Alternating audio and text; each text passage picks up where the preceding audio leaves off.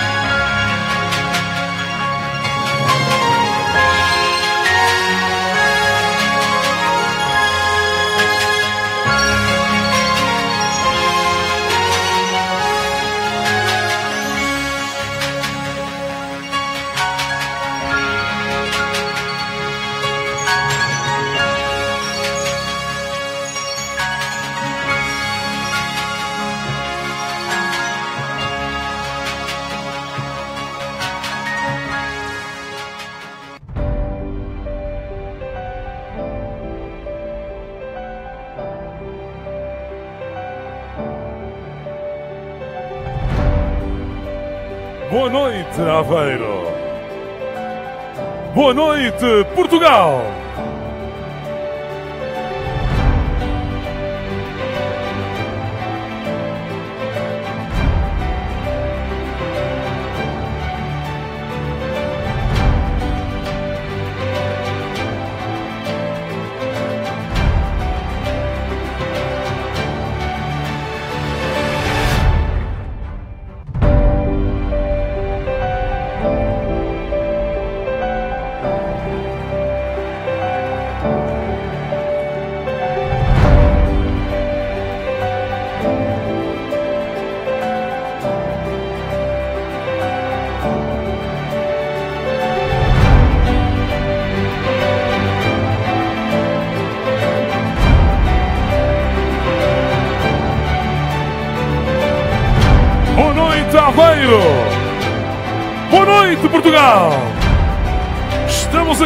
hoje para mais uma jornada de confiança no futuro de Portugal.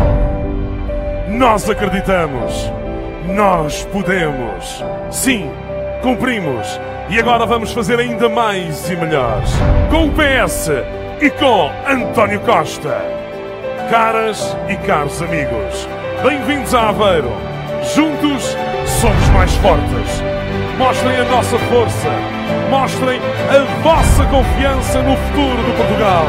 O voto no PS é o voto responsável e é o voto de confiança. Para abrir este nosso encontro, vamos começar por ouvir um grande autarca e que é também o presidente da Federação de Aveiro do Partido Socialista, Jorge Sequeira.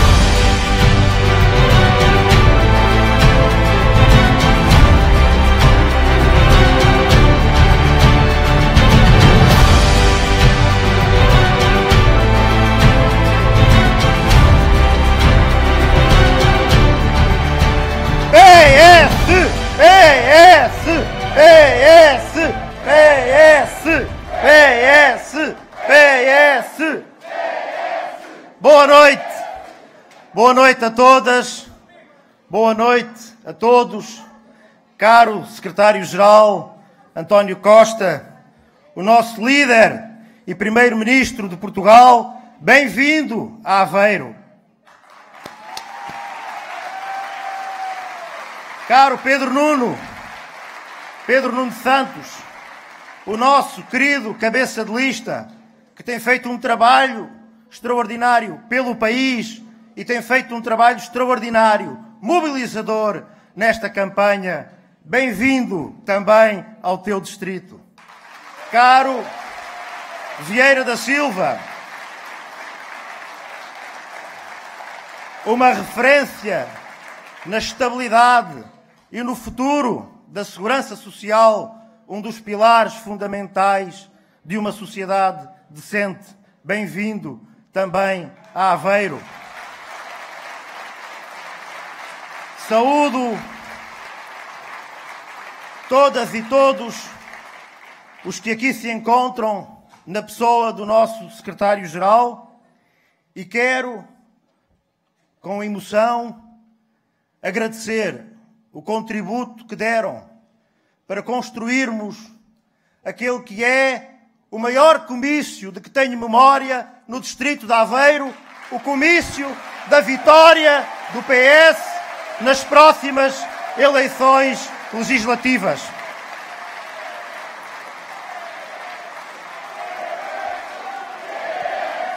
PS, PS, PS, PS, PS, PS. Este momento é um sinal de unidade e de confiança. Unidade e confiança em torno das ideias do PS, aquilo que nos move, do nosso programa eleitoral. Um programa a sério, discutido, partilhado, participado. Um programa que aborda as questões que relevam e interessam às pessoas, ao país e ao mundo. As alterações climáticas, a crise demográfica, as desigualdades sociais, o digital e o seu potencial de transformação da sociedade. Unidade e confiança também em torno do nosso líder, em torno de António Costa, um dos maiores estadistas da União Europeia, um chefe de governo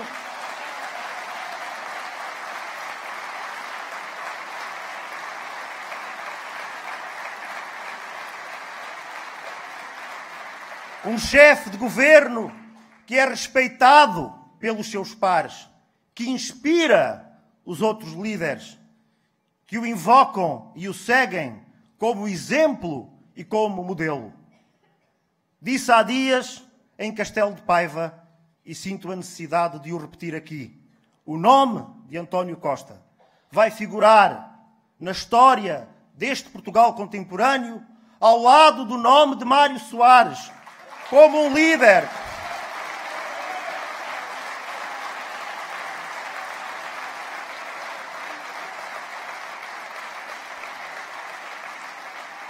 Um líder político com rasgo, com ousadia, com capacidade de transformar e com um percurso de serviço público absolutamente impoluto, dedicado ao interesse geral e sempre determinado pela ética republicana que caracteriza o Partido Socialista.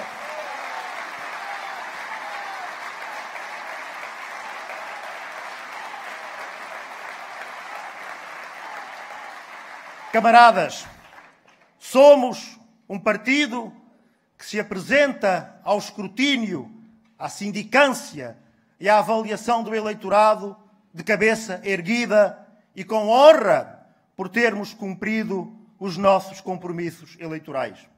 Os dados falam por si, são estatística, são indesmentíveis.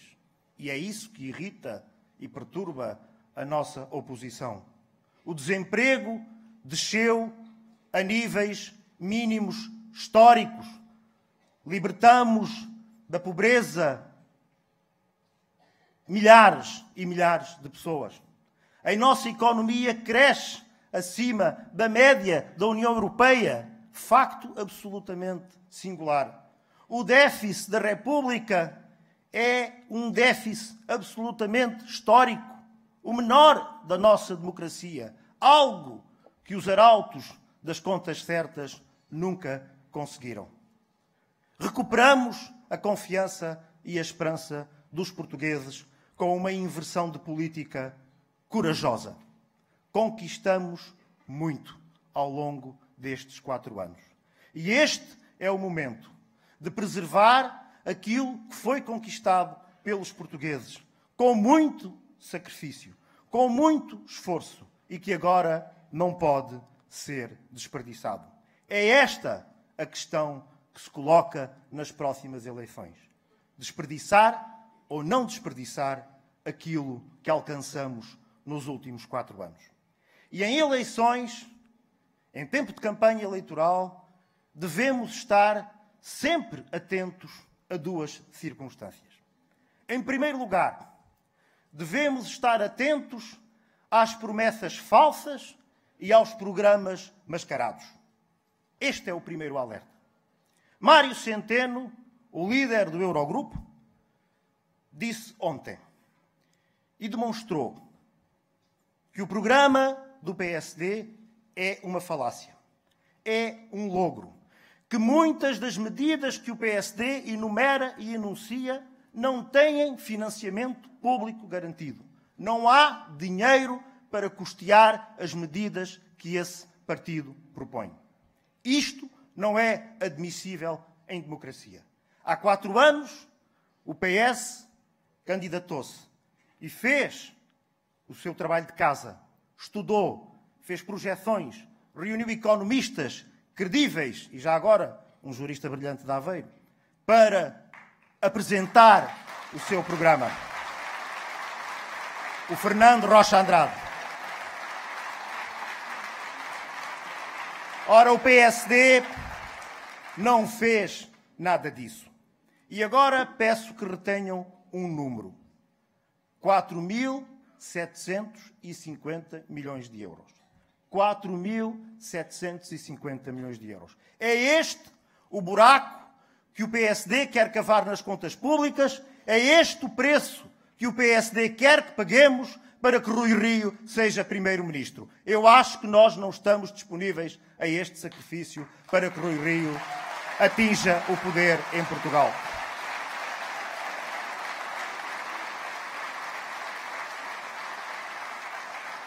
Por outro lado, camaradas, devemos estar atentos aos líderes volúveis, que não são carne nem são peixe, que não têm a força moral de resistir à tentação da demagogia, do oportunismo político e do populismo, e que à tarde negam os supostos princípios que enumeraram de manhã.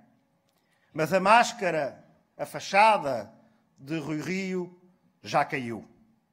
Hoje, todos aguardávamos com ansiedade, com inquietação e com expectativa que Rui Rio retirasse consequências políticas do abuso de assinaturas de deputados do seu partido que foram utilizadas para fundamentar uma coisa muito séria, um pedido de fiscalização ao Tribunal Constitucional.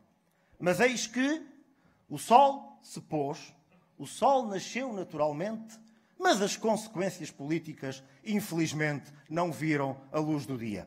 É caso.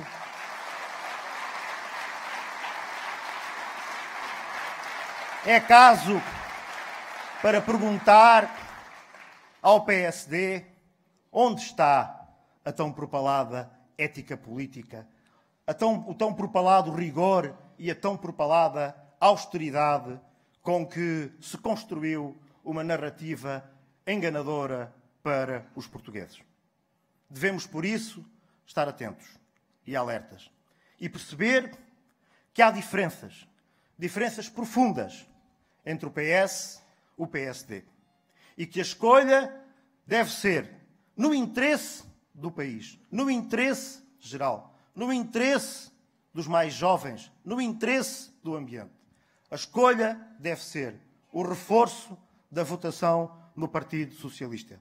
A única força política que garante o equilíbrio, que garante o rigor das contas públicas, que garante a solidariedade social, que garante a credibilidade externa da República perante as instituições internacionais, como demonstramos com a eleição de António Guterres para secretário-geral da ONU e de Mário Centeno para líder do Eurogrupo. É por isso que vos apelo, que vos apelo para que se mobilizem, se mobilizem totalmente no apoio ao nosso secretário-geral António Costa, ao nosso líder, ao nosso timoneiro, no apoio à nossa lista, uma lista de excelência e de qualidade encabeçada pelo Pedro Nuno Santos, para que continuemos, continuemos em conjunto, em diálogo com todos, a construir uma sociedade mais justa, mais solidária e mais decente. Vamos à luta sempre com uma coisa em mente: que quanto mais a luta aquece, mais força tem o PS. Viva o PS! Viva Portugal! Viva o António Costa! PS! PS! PS!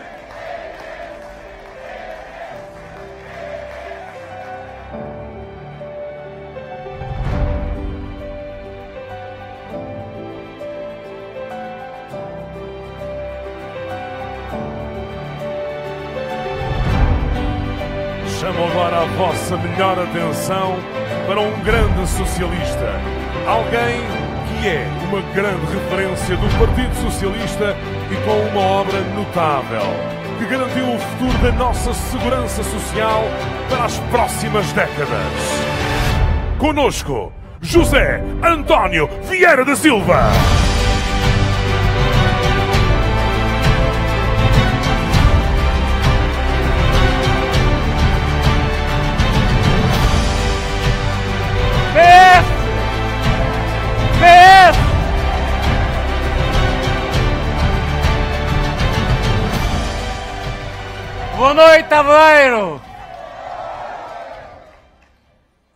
Caras e caros amigos, há pouco ouvi-vos dizer bem alto uma frase que esta sala cheia que nem um ovo comprova.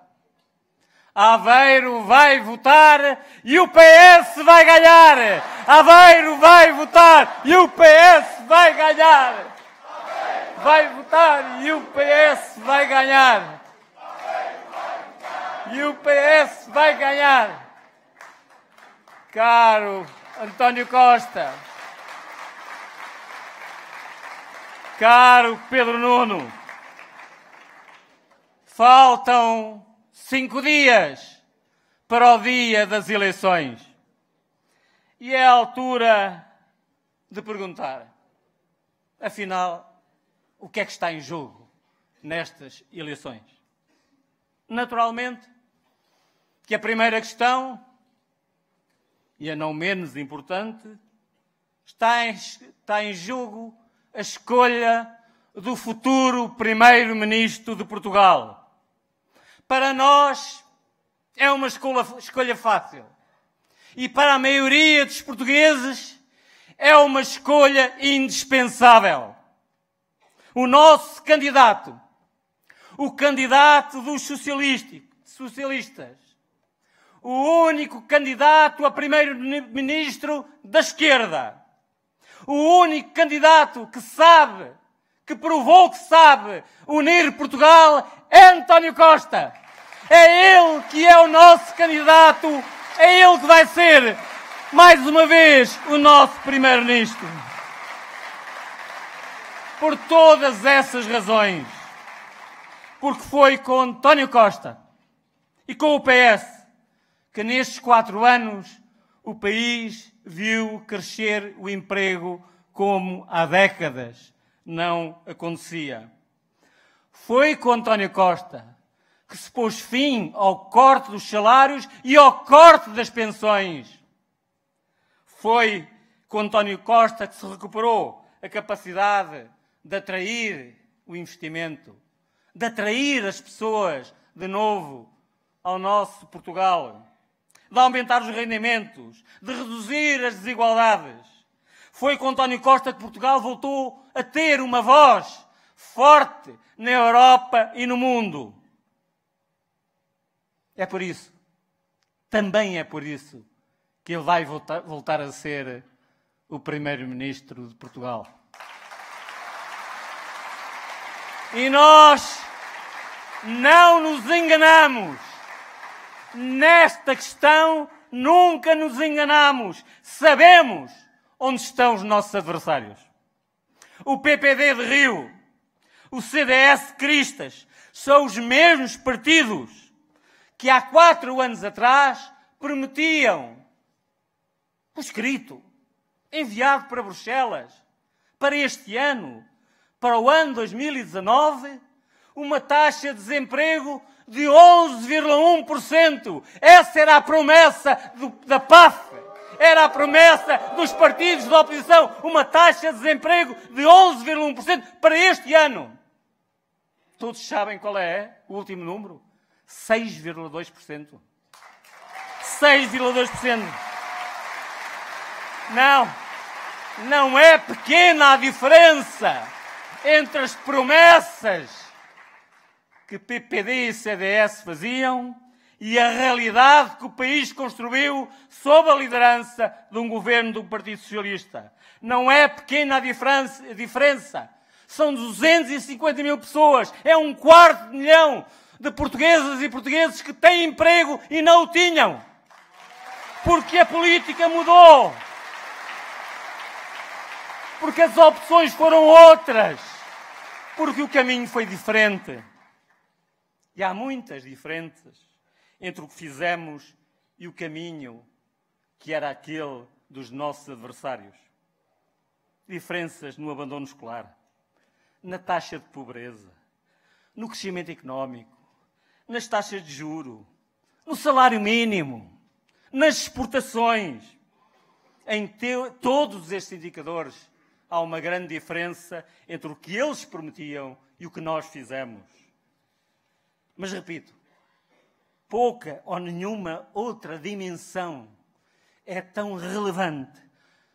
Talvez nenhuma diferença seja tão marcante como esse quarto milhão de empregos criados nestes quatro anos, para mais do que aquilo que PPD e CDS prometiam foi uma obra do país, das empresas, dos trabalhadores, mas foi, e de que maneira, uma obra de António Costa e do governo do Partido Socialista.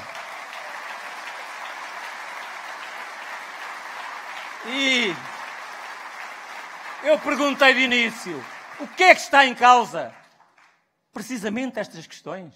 O caminho que vamos seguir no emprego, nos serviços públicos, na educação, no crescimento económico, no combate às desigualdades, no apoio às jovens famílias, no apoio aos mais idosos.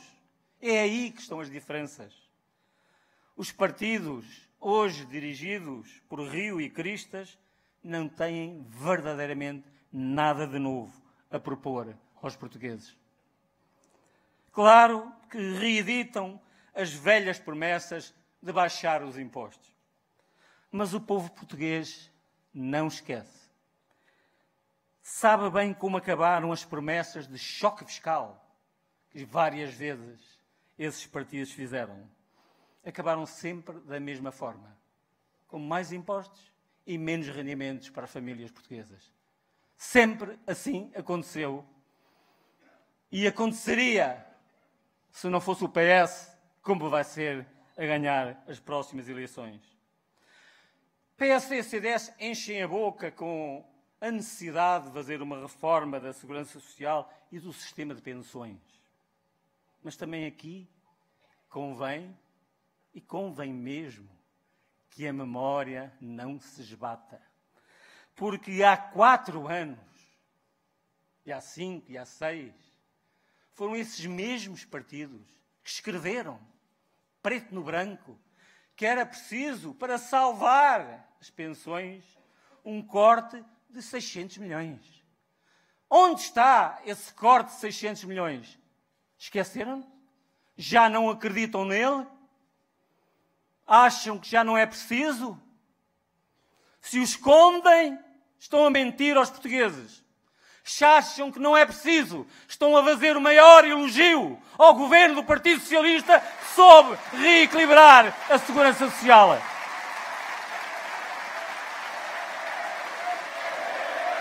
PS! PS! PS! As opções aqui não podem ser mais claras. O caminho do PS foi e será o caminho sustentado, seguro, credível, de aumento das pensões, sim, hoje, mas também de um crescimento de 7 mil milhões de euros do Fundo de Estabilização da Segurança Social para assegurar as pensões de hoje e do futuro. Essa é a diferença os que deixaram um déficit e os que construíram uma grande almofada de segurança. E não é uma diferença menor, caras e caros amigos.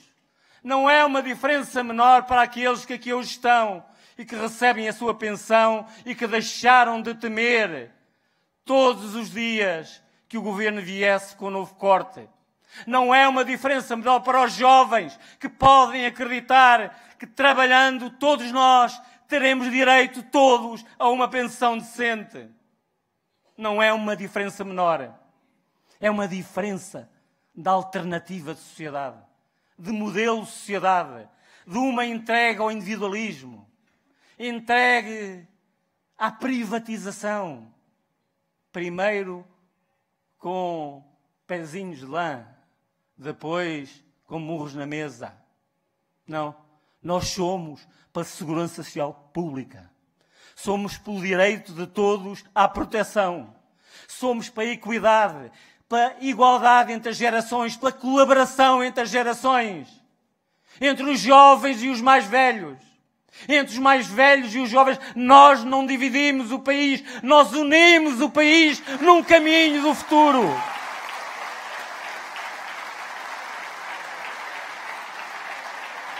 Hoje, PPD e CDS prometem sol na eira e chuva no Nabal. É verdade. Mas onde erguem a voz com mais pujança, com mais convicção, verdadeiramente é na única linha política que os distingue nesta campanha eleitoral a do ataque pessoal e a da calúnia. É essa a novidade que estes partidos trouxeram para o debate eleitoral. Mas reparem, não é de hoje. Podia citar vários exemplos, mas deixem lembrar um. Deixem-vos lembrar um exemplo que muitos já esqueceram. Vale aqui a pena lembrar quando o eurodeputado, líder da bancada do PSD, seu nome Rangel, pedia a admissão de Mário Centeno. Pedia a admissão de Mário Centeno, segundo ele, estaria fragilizado entre os seus pares. Isto em fevereiro de 2017. Em maio de 2017, Portugal saiu do procedimento por déficits excessivos. E em dezembro de 2017, Mário Centeno foi eleito presidente do Eurogrupo. Não!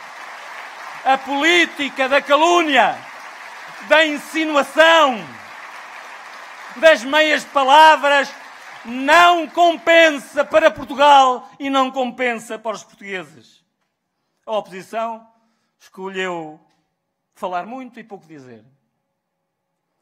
E porque eles bem sabem, bem sabem que o governo do PS cumpriu o seu programa de mais emprego e menos desigualdade de mais crescimento e equilíbrio nas contas de Estado, de mais Portugal aqui e na Europa.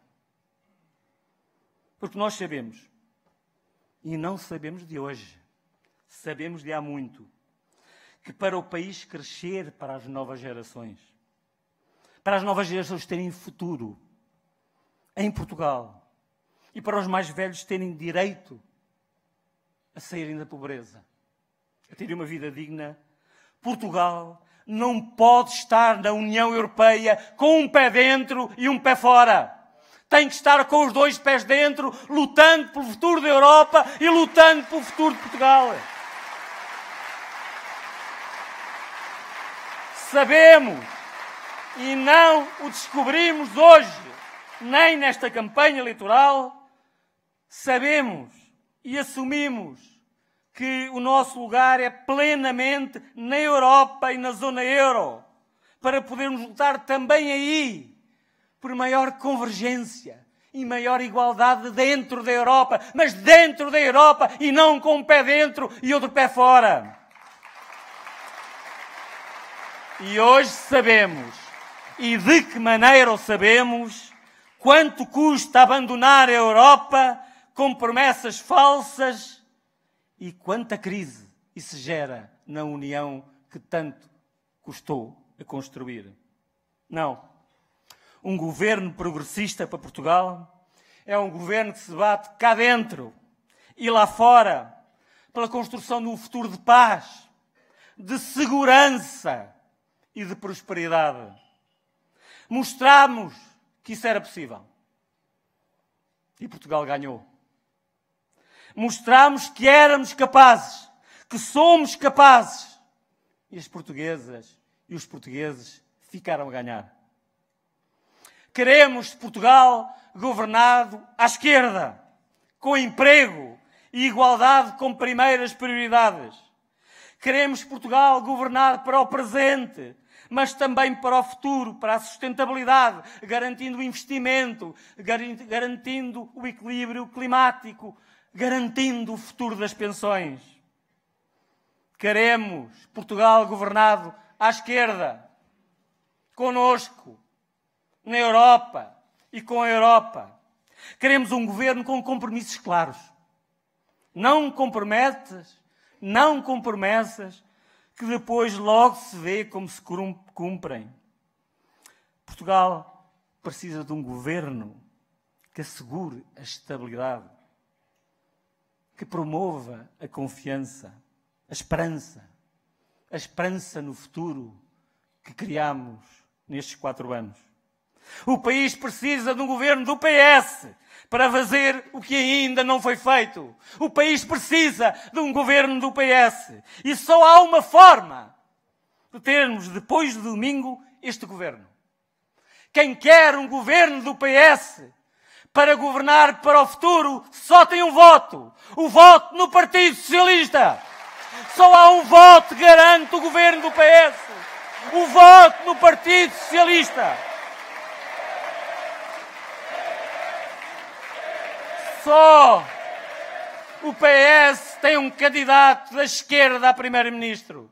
Só o PS garante um, um governo de progresso. Um governo ao serviço de todas e de todos. Um governo dirigido, como até hoje, por um grande primeiro-ministro, para um grande socialista, por o nosso camarada António Costa. Por isso, caro Pedro Nuno, caras e caros candidatos por esse distrito de Aveiro, é verdade. Domingo, Aveiro vai votar e o PS vai ganhar. Aveiro vai votar e o PS vai ganhar. Vai votar e o PS vai ganhar. Viva Aveiro! Viva o Partido Socialista! Viva o Partido Socialista! Viva Portugal! Viva Portugal! Viva Portugal!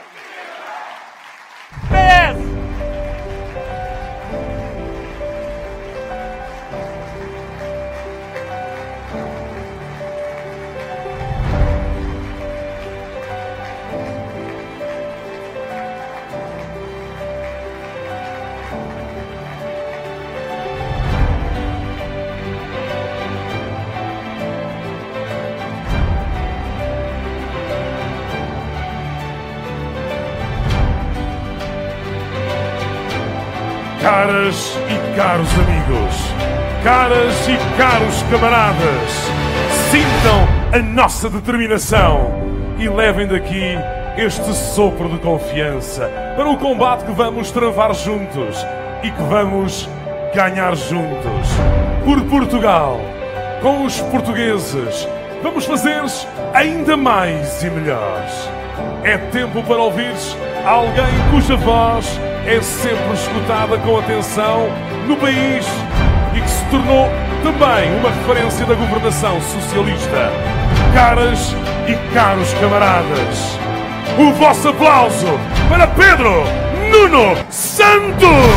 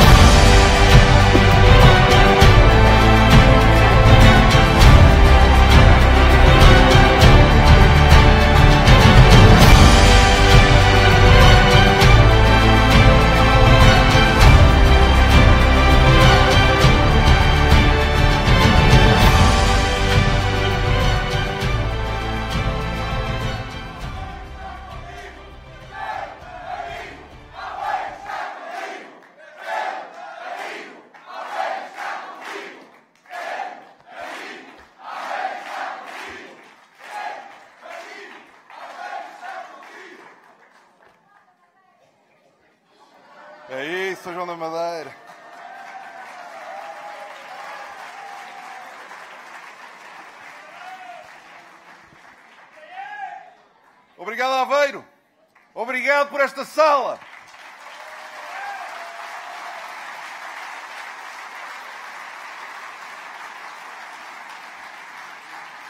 Caras e caros camaradas e amigos, permitam-me cumprimentar-vos na pessoa, primeiro, do nosso querido Presidente da Federação, magnífico Presidente da Câmara Municipal de São João da Madeira, recuperou uma Câmara ao fim de 40 anos.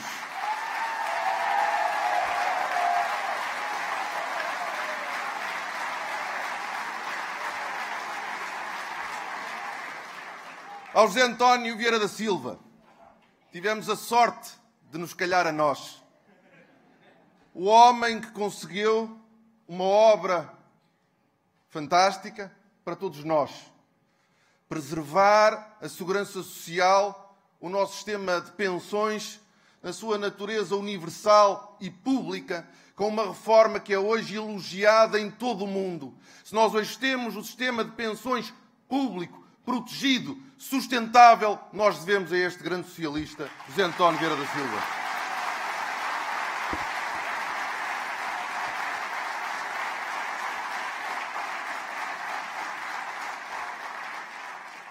Este governo teve, tem ainda, bons ministros, cada um na sua área fazendo o seu trabalho, nas finanças, na saúde, na educação. Mas a fórmula de sucesso deste governo não foi fazer de forma isolada a redução do déficit orçamental ou de forma isolada a recuperação de rendimentos e o aumento das prestações sociais. A forma de sucesso desta governação foi conseguir conciliar o rigor nas contas públicas, as contas certas e o investimento nas pessoas, nos rendimentos, nas prestações sociais. E esta tarefa só foi possível porque nós tínhamos um líder com a capacidade de articular, coordenar, construir este equilíbrio que é a verdadeira fórmula de sucesso desta governação. E esse líder é António Costa.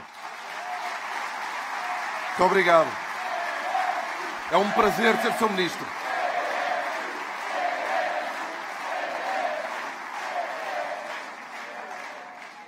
Caras e caros camaradas, eu não podia esquecer a JS e a Maria Begonha e a Joana Pereira, que aqui estão connosco, e toda a juventude socialista, esta grande organização, a maior organização de juventude do país.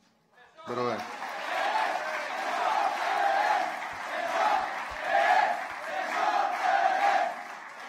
Caras e caros camaradas e amigos, queria começar esta intervenção com uma pergunta. Pode parecer uma pergunta simples, mas é importante que lhe saibamos responder bem. Porque é que nós estamos aqui reunidos num comício do Partido Socialista e não num comício do PSD? Porque é que escolhemos apoiar o PS e não o PSD ou o CDS?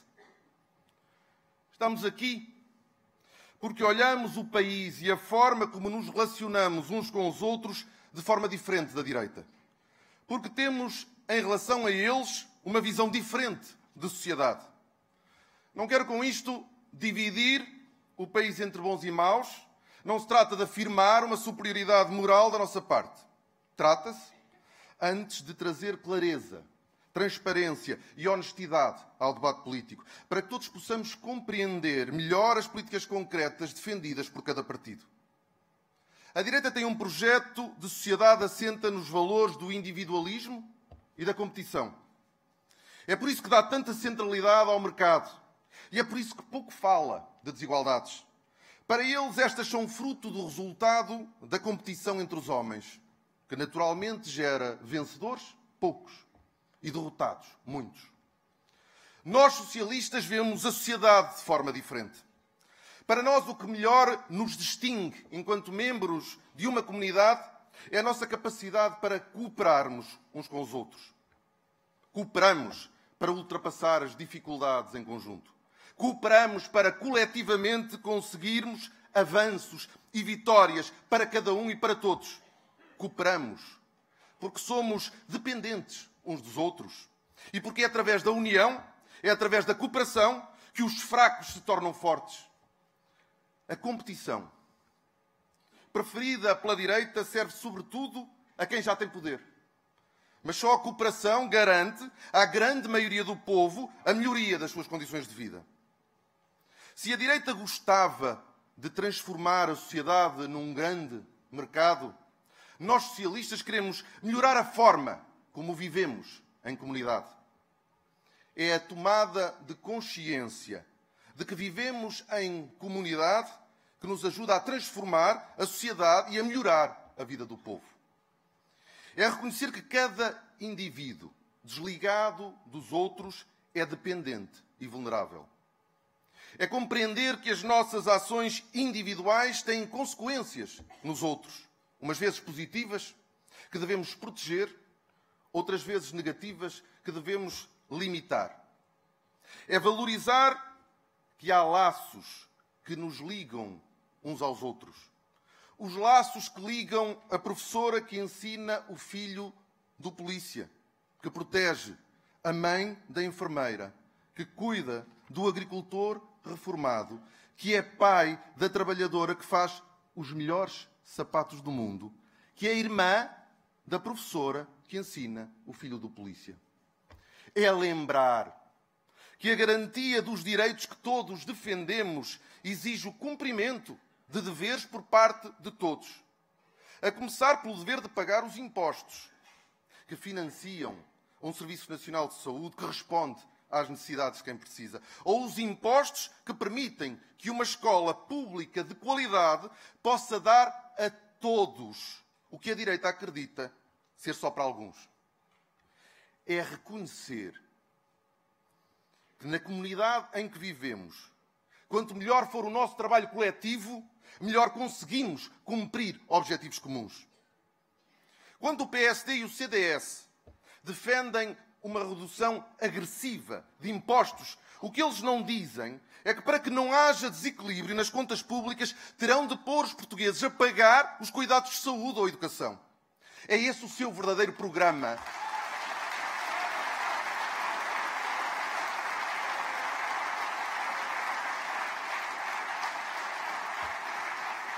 É, é esse o seu verdadeiro programa. Reduzir impostos para amanhã terem a justificação para entregar a saúde e a educação ao negócio dos privados. Um amigo nosso me autorizou a partilhar o seu exemplo. Tenho uma sobrinha, três anos, que necessitou de um ouvido biónico para conseguir ouvir. O pai da criança foi ao privado e pediram-lhe 70 mil euros só pelo aparelho sem contar com os honorários da equipa médica e do hospital. Não teria conseguido pagar. Mas o Serviço Nacional de Saúde, ou mais concretamente, o Hospital Pediátrico de Coimbra, financiado por todos nós e mais por quem tem mais, fez a intervenção sem cobrar nada.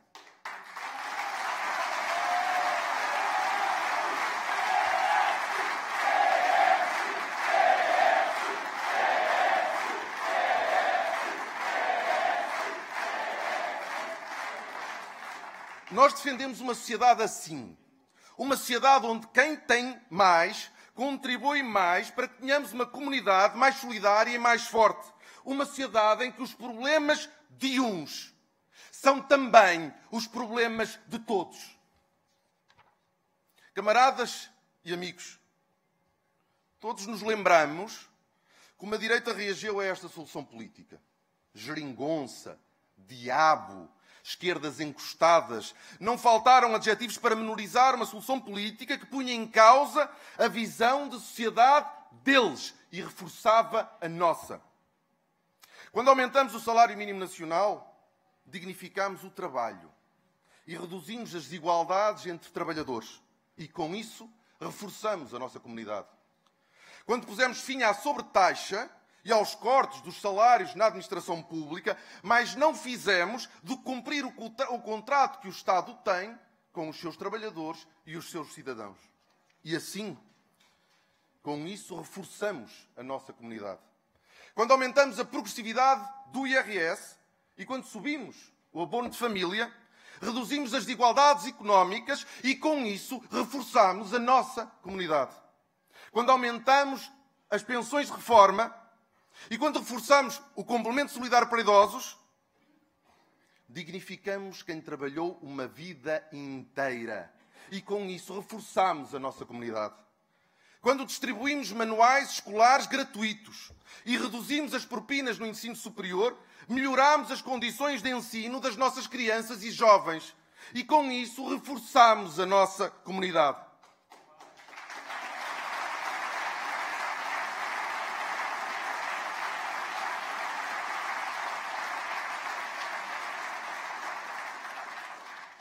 A direita passou estes quatro anos a dizer que este governo não defendia nem servia o país. Mas perguntemos. Perguntemos à esmagadora maioria dos trabalhadores, dos reformados e dos estudantes e suas famílias. Perguntemos-lhes se este governo não os defendeu, se este governo não os serveu. Perguntemos-lhes. A direita passou estes quatro anos a dizer que não fizemos reformas. Na verdade, nós não fizemos as reformas que a direita teria feito se governasse.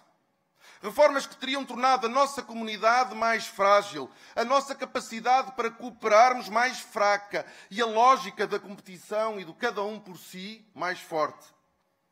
A direita não teria aumentado o salário mínimo, não teria reduzido o IRS para a classe média, não teria aumentado as pensões de reforma, não teria tornado os manuais escolares gratuitos, não teria dado prioridade à ferrovia, não teria baixado o preço dos espaços para os transportes, não teria combatido a precariedade laboral, não teria aumentado o abono de família, não teria descongelado as carreiras da administração pública, não teria diversificado as fontes de financiamento da segurança social, não teria criado uma, nova geração de políticas de habitação. Estas são as nossas reformas, não são as deles. Estas são as reformas de que nós nos orgulhamos.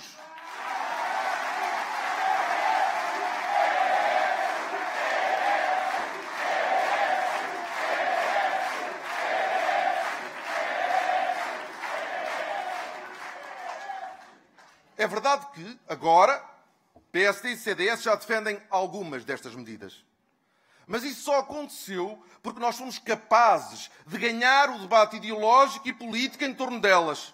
Só temos de continuar a não ter medo de disputar com eles o debate das ideias. Camaradas e amigos, os quatro anos deste governo trouxeram avanços muito importantes na vida do nosso povo. Ao contrário da mensagem que a direita quis passar, era mesmo possível mudar de políticas, era mesmo possível viver melhor em Portugal. Não era necessário continuar a pedir sacrifícios aos mesmos de sempre. e continuar a comprimir salários, a cortar nas pensões, a estrangular os sistemas públicos de saúde, educação e de segurança social. Não era necessário, era até mesmo contraproducente. Confirmou-se. Confirmou-se que era possível acabar com a política masoquista que nos dizia que tínhamos vivido acima das nossas possibilidades. E que era possível pôr fim à política fatalista que nos obrigava a manter baixas as nossas expectativas. Mas atenção, camaradas. Nós não damos por terminado o nosso trabalho.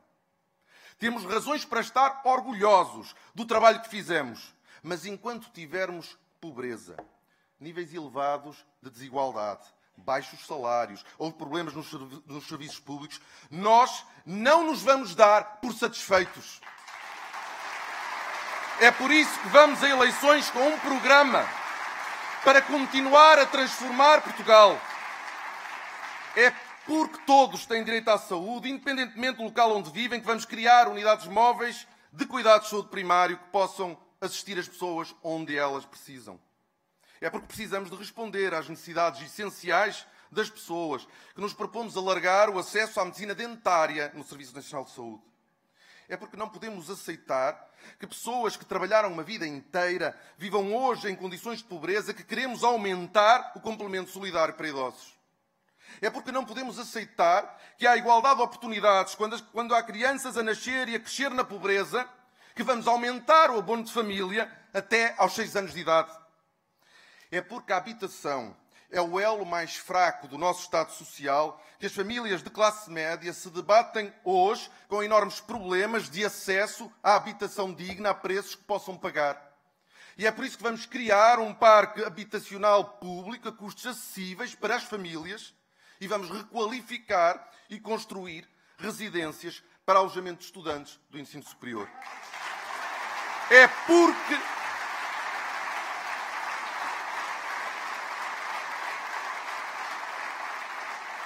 É porque ainda há muito por fazer que nos apresentamos com força e convicção para fazer mais e melhor. Caras e caros camaradas e amigos, nós sabemos e vocês também o sabem, o que fizemos nestes últimos quatro anos. Cumprimos todos os compromissos com o nosso povo e também com as instituições internacionais, mas com uma diferença. Enquanto o anterior governo PSD-CDS se batia com os portugueses para fazer cumprir o que se tinha comprometido com a União Europeia, o nosso governo bateu-se sempre em Bruxelas para fazer cumprir aquilo com que se tinha comprometido com o povo português.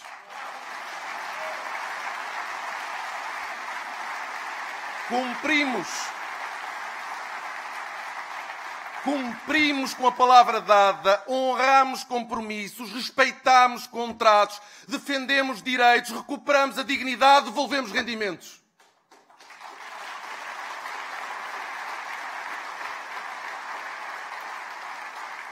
Tudo isto foi essencial para recuperar a confiança, não apenas no Partido Socialista, mas no sistema e nas instituições democráticas.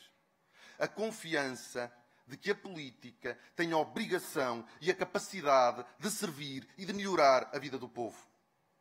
Nós sabemos bem o que fizemos nestes últimos quatro anos. E sabemos também o que, com humildade e sentido de responsabilidade, precisamos de continuar a fazer nos próximos quatro. Só o PS. E um PS forte. É que pode responder a estes problemas de forma a melhorar as condições de vida da esmagadora maioria do povo.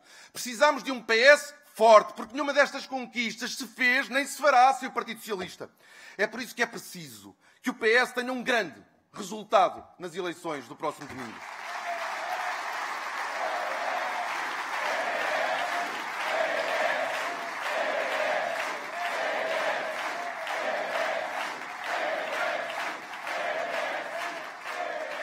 Um resultado que nos dê a força e a legitimidade que só o povo nos pode conferir para travar as lutas que ainda não vencemos. E para concretizar os direitos que ainda estão por conquistar. É por isso que precisamos de um Partido Socialista mobilizado, para que nenhuma voz fique por ouvir e nenhum voto por disputar, com a força dos militantes e apoiantes do Partido Socialista, com a vossa força e com a confiança dos portugueses, continuaremos a cumprir e a construir um Portugal melhor, mais justo e mais solidário. Um país para todos. Viva o PS! Viva Aveiro! Viva Portugal! Obrigado! Obrigado, Aveiro! PS!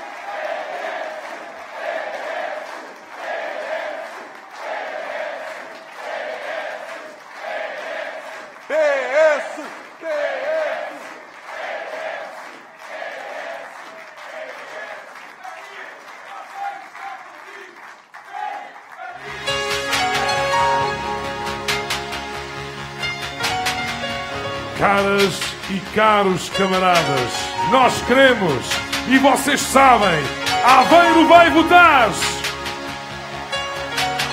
Aveiro vai votar! Minhas senhoras e meus senhores, caras e caros amigos, há pessoas assim que nos transmitem confiança. É o caso do homem que está hoje aqui para sentir também a força que todos temos para lhe transmitir. Para continuar a seguir o caminho que devolveu a esperança aos portugueses e para fazer ainda mais e melhores nos próximos quatro anos. Ele é a nossa voz e o nome dele é António Costa!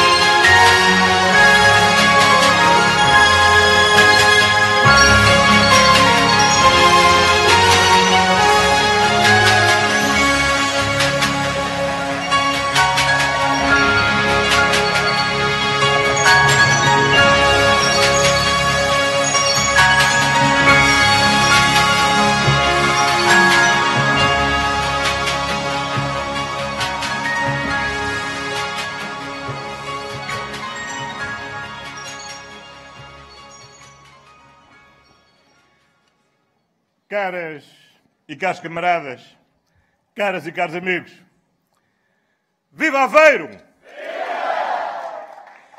Queria começar na pessoa do Jorge Sequeira por saudar todos os dirigentes e militantes do Partido Socialista de Aveiro.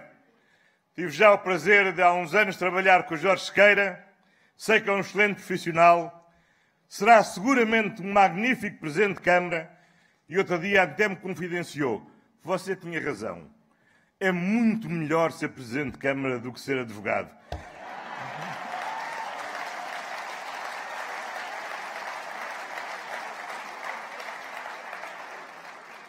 E queria saudar no Pedro Nuno Santos todas e todos os candidatos do Partido Socialista pelo Círculo Eleitoral de Aveiro. Mas permitam-me que faça uma referência especial ao Pedro Nuno Santos e ao Zé António Vieira da Silva por uma outra razão.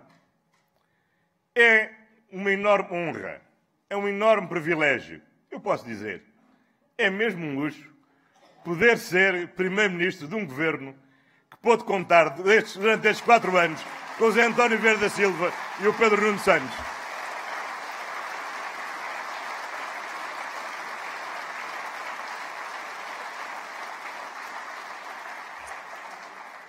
São duas gerações diferentes. Um ligeiramente mais novo do que eu, outro um bocadinho mais velho do que eu. Um que decidiu também exercer o seu direito a reformar-se da vida política ativa para a pena de todos nós, mas com toda a legitimidade, todo o direito, depois de tudo e o muito que já fez pelo nosso país.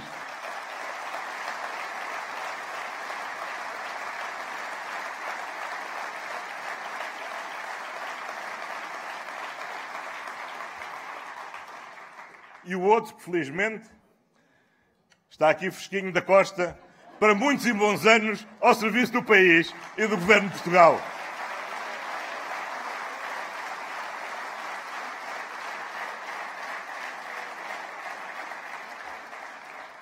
E ao, e ao ouvir o Zé António Vieira da Silva e o Pedro Nuno, não posso deixar de focar o seguinte. A direita passa o tempo a falar das reformas estruturais e da reforma da segurança social. Verdadeiramente, nós sabemos o que é que eles querem sempre que falam em reformas estruturais.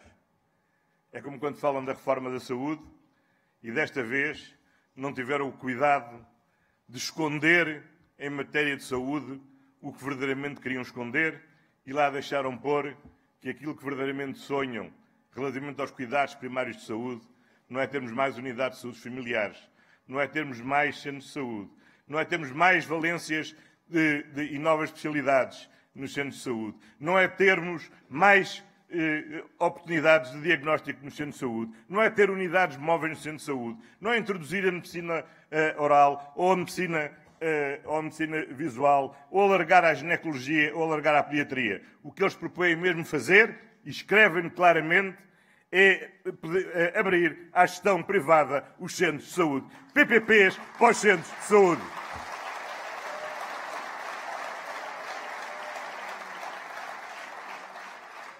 E para a Segurança Social, não deram conta que a verdadeira grande reforma da Segurança Social foi feita pelo José António Vieira da Silva, precisamente há 12 anos atrás. E é essa reforma que garante a sustentabilidade presente e futura da nossa Segurança Social. E ao contrário do que eles propunham, de fazer um corte de 600 milhões das pensões, a nossa prioridade foi criar 350 mil novos postos de trabalho, que aumentaram as contribuições para a Segurança Social e alargaram por mais 22 anos a estabilidade do nosso sistema de segurança social. E a estabilidade do sistema da segurança social é aquilo que garante o seu futuro. Porque, ao contrário da visão que tinham, de que havia uma luta de gerações, em que há quatro anos queriam que nós optássemos entre o futuro dos nossos filhos ou a atualidade dos nossos pais, aquilo que nós respondemos é que nós não vivemos numa sociedade onde uns são tratados como peste grisalha e outros com promessas de futuro.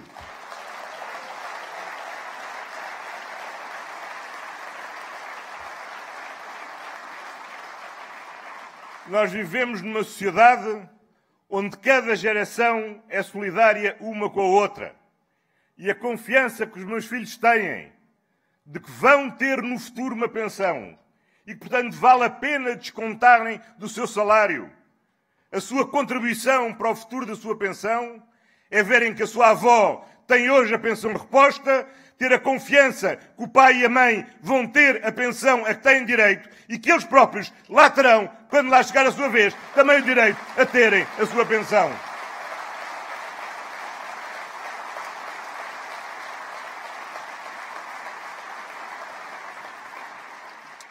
E por mais voltas que demos, o maior ganho desta legislatura foi mesmo termos devolvido esta confiança aos portugueses. E esta esperança de que, de facto, há um futuro para o nosso país e que podemos, devemos e que dá razões para confiar em Portugal.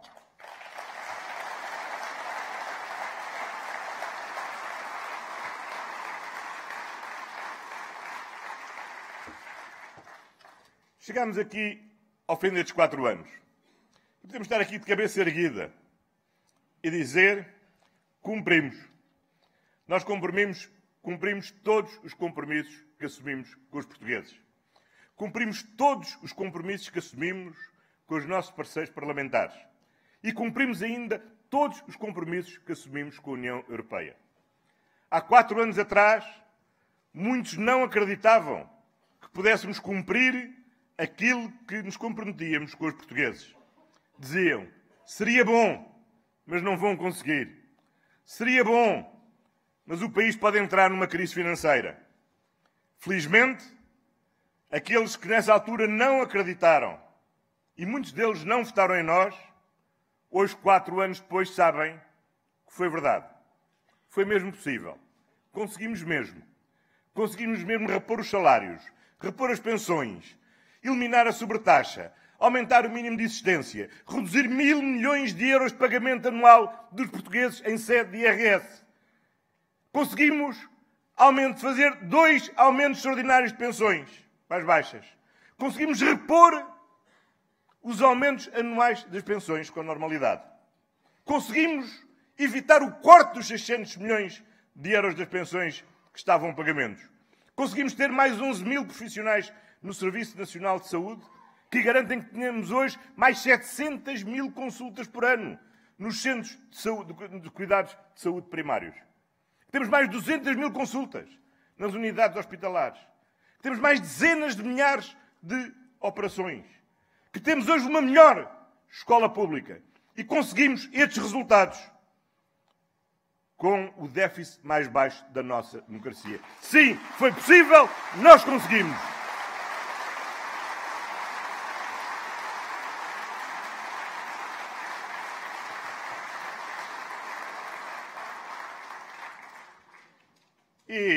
E, conseguimos. E conseguimos porque nos preparamos para os compromissos que tínhamos que assumir. Olha, tudo começou, aliás, aqui, precisamente neste centro de congressos de Aveiro, há cinco anos atrás, nesta sala, onde apresentei ao meu partido e ao país uma agenda para a década. Uma visão estratégica para 10 anos. Prosseguimos depois com a, com a construção de um cenário macroeconómico. Nessa altura, fomos constituir uma equipa de vários economistas, coordenado por um homem pouco conhecido da opinião pública, que a direita procurou ridicularizar, que se chamava Mário Centeno.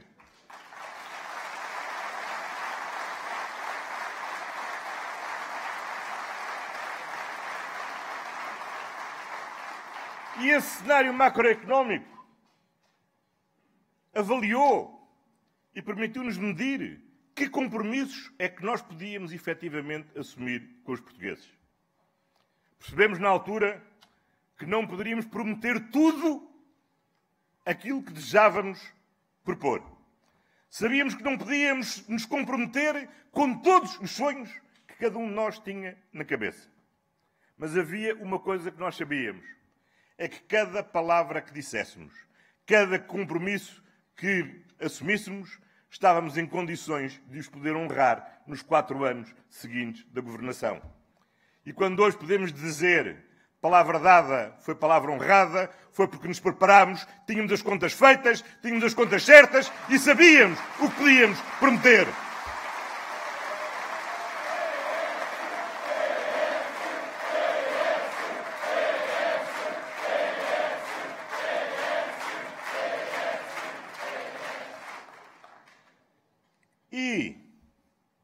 Calhar, na altura perdemos votos porque não prometemos o que muitos queriam ouvir. Mas tenho a certeza que esses hoje sabem que a melhor garantia que podem ter do que cada compromisso que hoje assumimos vamos mesmo cumprir é o facto de termos cumprido nos últimos quatro anos tudo aquilo que há quatro anos atrás dissemos que íamos fazer e ainda fizemos mais um bocadinho sempre tivemos margem e capacidade, força e margem de manobra para poder ir um pouco mais além.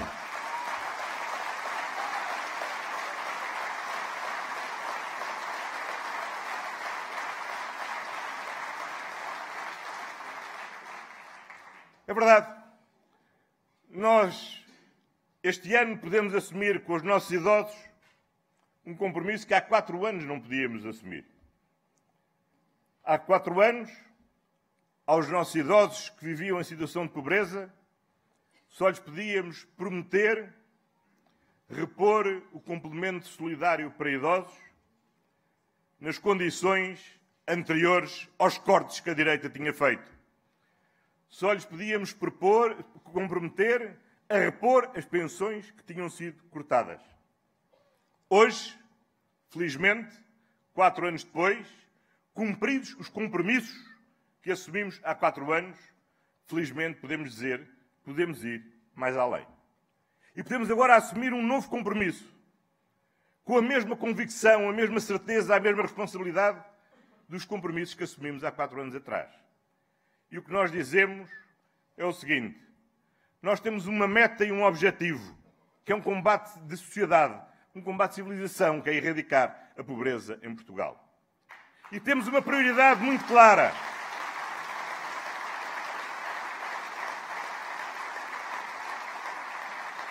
E temos uma prioridade muito clara na próxima legislatura. Nós vamos elevar o complemento solidário para idosos, para que qualquer idoso qualquer que seja o valor da sua pensão, não tenha um rendimento inferior ao limiar de pobreza e chegarmos ao fim dos próximos quatro anos sem que qualquer idoso viva a situação de pobreza em Portugal.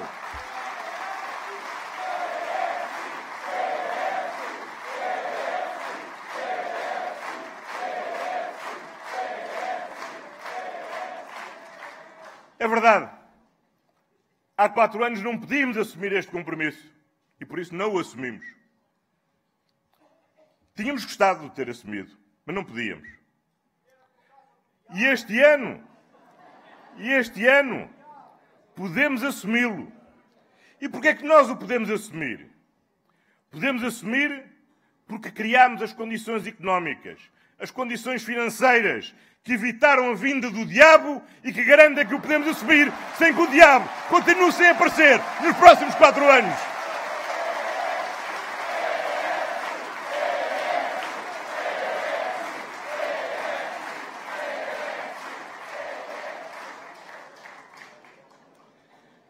E foi assim que cumprimos todos os compromissos também com os nossos parceiros parlamentares. E a dinâmica destes quatro anos, a capacidade que tivemos de assegurar um crescimento económico, económico contínuo, a excelente resposta que houve na criação de emprego, a excepcional gestão do nosso sistema de segurança social, permitiu-nos ir mais além do que aquilo que estava não só no nosso programa, mas também mais além do que estava nos próprios compromissos com os nossos parceiros parlamentares. Por exemplo, não estava nem no nosso programa, nem em nenhum dos compromissos com os nossos parceiros parlamentares, uma redução dos espaços sociais com a ambição como concretizamos nesta legislatura.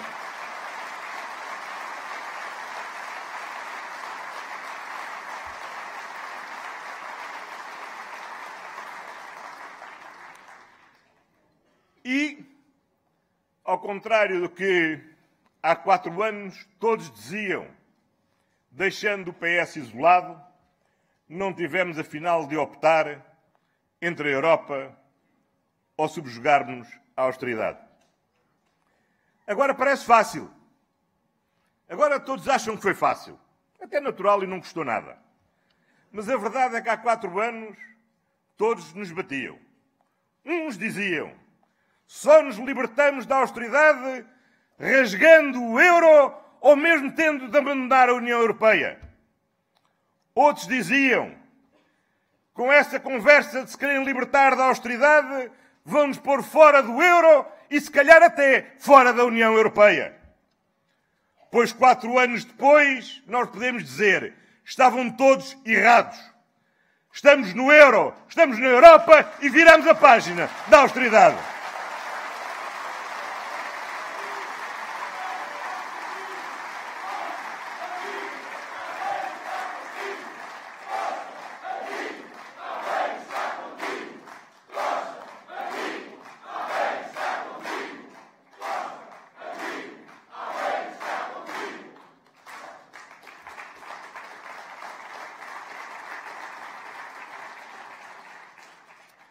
É claro, cumprimos. Mas nós não somos pessoas de ficar acomodados com o que já fizemos. Não, ficamos, não estamos aqui para celebrar só o que já alcançamos ou para festejar o que já conseguimos. Nós estamos aqui porque queremos mesmo. Sabemos que é necessário, que o país precisa, que façamos mais e ainda melhor porque há mais e melhor para fazer.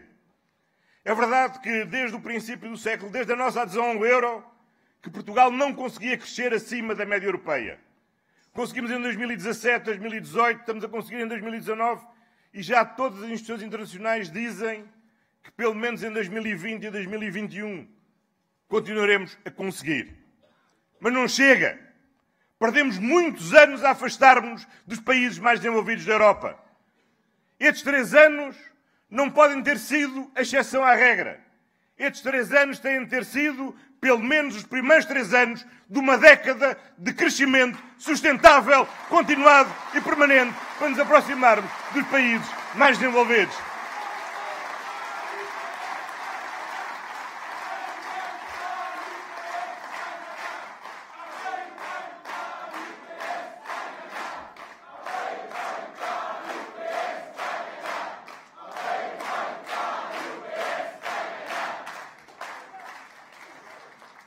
É verdade que hoje temos mais, mais emprego.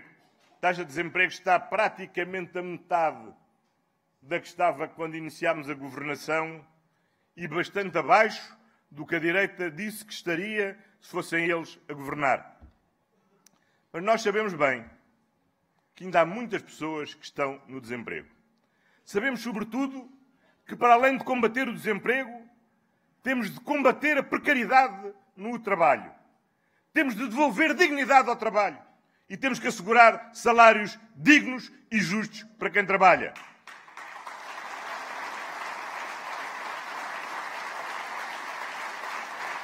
Sabemos, sabemos bem, sabemos bem que o salário mínimo já subiu 20% nestes últimos quatro anos. Mas sabemos que o nosso salário mínimo ainda é baixo que o nosso salário médio ainda é baixo, que os nossos salários são baixos e que temos que continuar ativos e a trabalhar para termos uma economia mais produtiva, mais competitiva, que nos permita ter melhores salários e melhores rendimentos para todas e para todos os portugueses.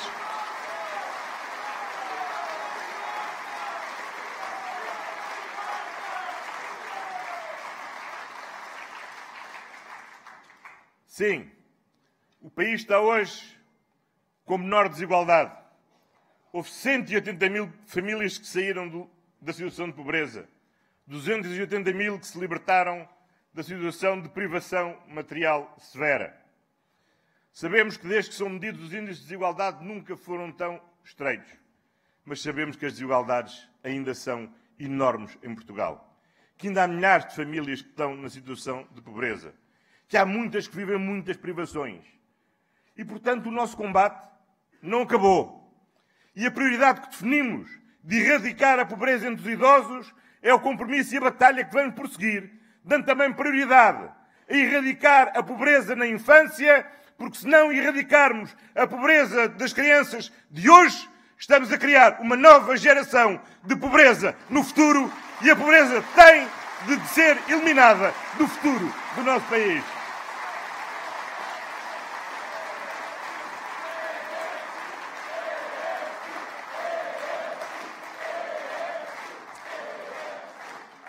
E é por isso que estamos aqui. É por isso que estamos aqui.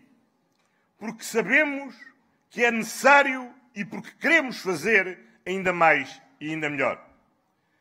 Mas para o conseguirmos fazer, é fundamental dar força ao PS. Reforçar o Partido Socialista. Para que o Partido Socialista possa continuar a ser o garante do equilíbrio, da responsabilidade, do bom senso, da capacidade de diálogo, de concertação, que nos permitiu, ao longo destes quatro anos, manter a estabilidade política, mas ao mesmo tempo manter os equilíbrios que eram fundamentais. Ou alguém acredita que sem o PS tinha sido possível, simultaneamente, romper com a austeridade e recuperar a credibilidade internacional do nosso país? Alguém acredita que sem o PS teria sido possível simultaneamente fazer, tratar da reposição de rendimentos e garantir a confiança no investimento que gerou riqueza e gerou postos de trabalho? Mas alguém acredita que sem o PS teria sido possível combater a pobreza e as desigualdades e ao mesmo tempo garantir contas certas? Alguém acredita que sem o PS teria sido possível garantir que avançávamos com determinação, com confiança no caminho que estávamos a abrir, mas com a segurança e a responsabilidade de nunca darmos um passo maior que a perna que nos fizesse tropeçar e voltar a andar para trás.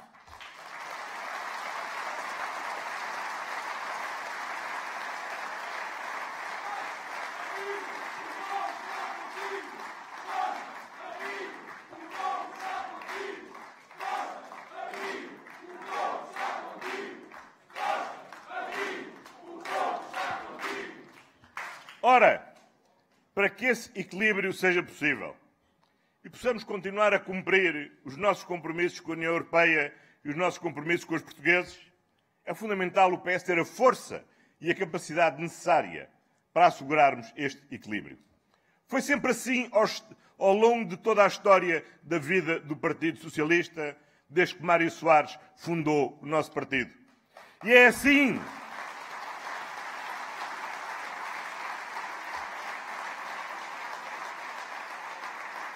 E é assim que nós temos de prosseguir. E para isso, há algo que é fundamental de cada um de nós, cada uma de nós, ter consciência. É que no próximo domingo é o voto de cada um que decide o que é que vai acontecer durante os próximos quatro anos em Portugal. No dia das eleições, não há sondagens, há votos. E os votos só se apura o seu resultado quando, depois das urnas encerradas e contados os votos, sabemos os resultados. Não se ponham a fazer contas com base nas sondagens, porque arriscam-se a acordar no outro dia de manhã com uma surpresa muito desagradável. Aquilo que é absolutamente fundamental é todos concentrarem em saber o que é que desejam para o futuro do nosso país. E aquilo que eu tenho de dizer, com muita simplicidade e muita humildade, é o seguinte: quem quer mais quatro anos de estabilidade de um governo do Partido Socialista só tem um voto no próximo domingo. É votar no Partido Socialista.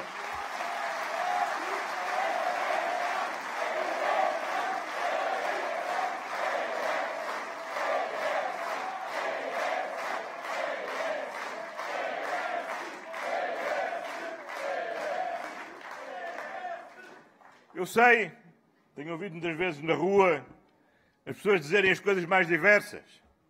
Ah, eu quero que o PS ganhe com maioria absoluta. Eu peço que, quero que o PS ganhe, mas sem maioria absoluta. Eu quero que o PS ganhe para continuar a geringonça. Eu quero que o PS ganhe para acabar com a geringonça. Bom, cada um tem os seus desejos. Mas felizmente todos têm uma ideia comum. É votar no PS e que ganhe o PS.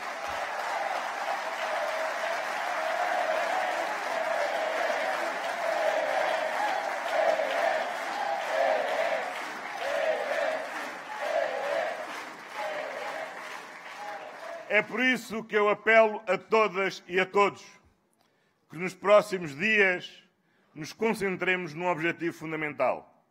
É o objetivo de mobilizar os nossos eleitores, os nossos amigos, os nossos colegas, os nossos vizinhos, os nossos familiares.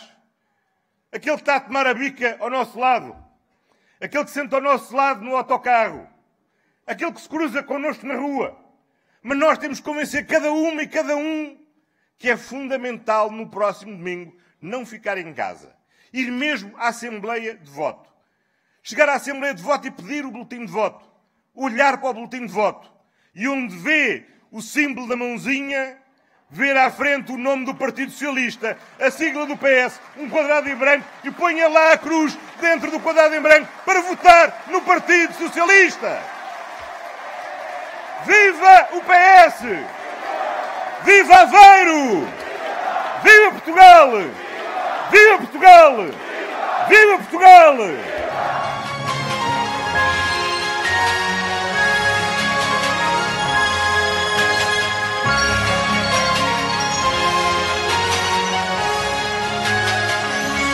É o voto de cada um de nós que decide por Portugal, com os portugueses Vamos fazer ainda mais e melhores. PS!